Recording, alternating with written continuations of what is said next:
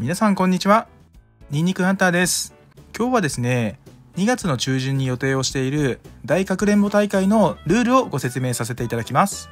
ニンニクハンターチャンネルでは毎週定例会を開かせていただいてかくれんぼやゲームパ大会などをやらせていただいています。一緒にみんなで遊べるようにこれからも動画やライブ配信を頑張っていきますのでチャンネル登録と高評価ボタンよろしくお願いいたします。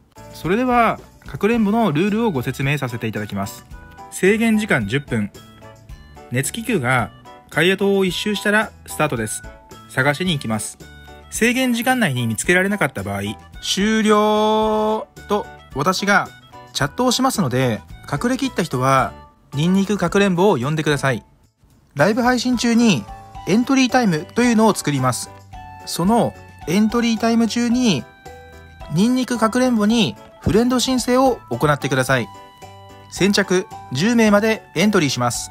それでは参加者に守っていただきたいルールをご説明します。隠れている人にワープをしてはいけません。バグの使用は禁止です。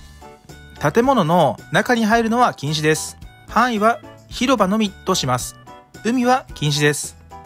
名前が全て隠れる隠れ場所は禁止です。2月1日火曜日の夜7時にライブ配信かくれんぼ大会模擬を行いたいと思います。今回この動画で新しくルールを決めたんですけれどもこういった場合は禁止です。